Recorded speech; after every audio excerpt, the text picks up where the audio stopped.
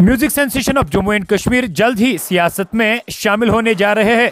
कुपाड़ा के किनारे में पैदा होने वाले जम्मू कश्मीर के मशहूर गुलकार वकार खान जल्द ही जम्मू कश्मीर नेशनल कॉन्फ्रेंस की सियासी जमात में शामिल होने जा रहे हैं।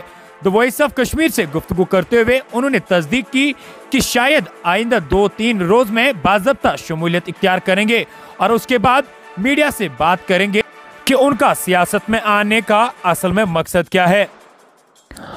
वकार खान, जिन्हें जम्मू कश्मीर के नुसरत फतेह अली खान के नाम से भी जाना जाता है, पहले ही अपने सुपरहिट गाने और अपनी आवाज़ की वजह से काफ़ी शहरत हासिल कर चुके हैं।